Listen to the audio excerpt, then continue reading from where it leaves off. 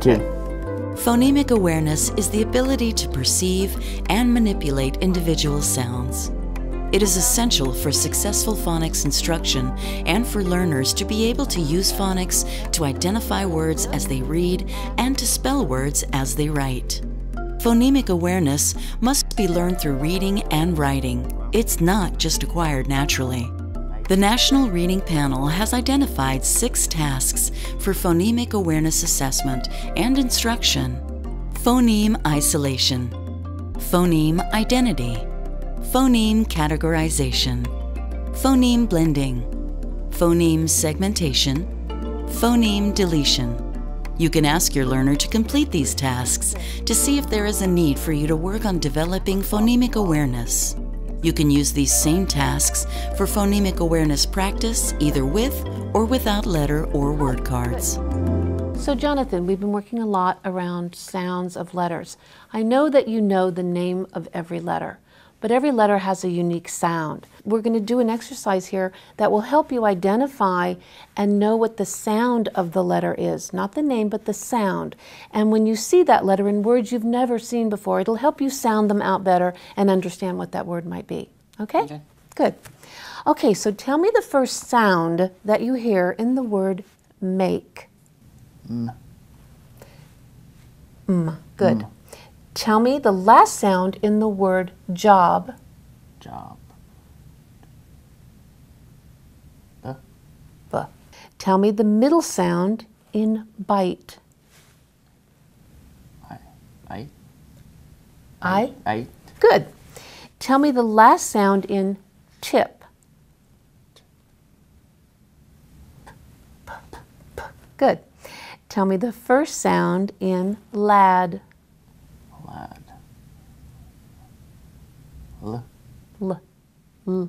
L. Good. Tell me the middle sound in pet.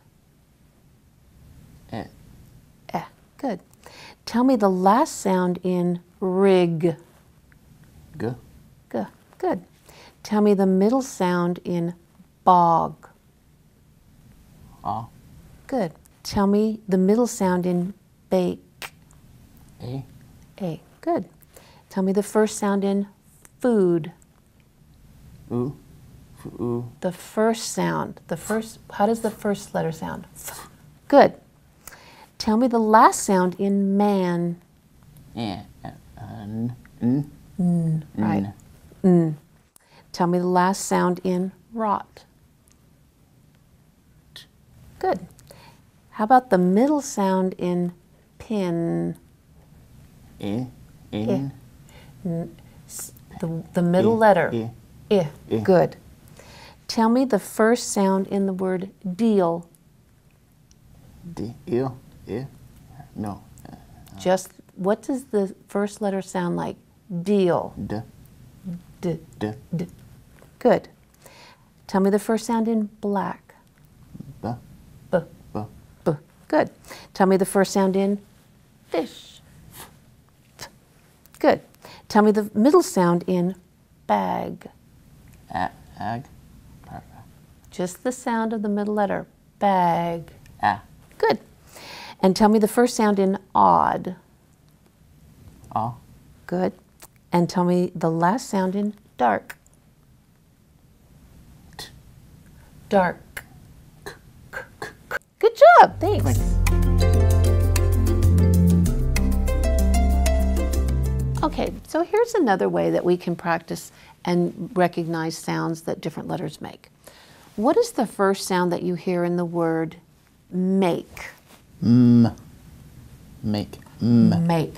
Perfect. Mm. How about the last sound in the word job? Job. Job. Job. Job. B.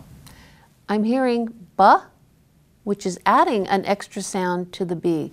The B wants to sound like b, B. b, job, Job. b. B. Good. Okay. And how about the middle sound in the word bite? B. I. I. By. So the middle sound you hear is I. I. Perfect. You have just seen a learner and a tutor practicing phonemic awareness tasks. This type of focused practice should take up no more than 20 minutes of any given lesson. You can ask your local literacy program or an adult literacy listserv for advice on curriculum choices that provide structured, sequential practice.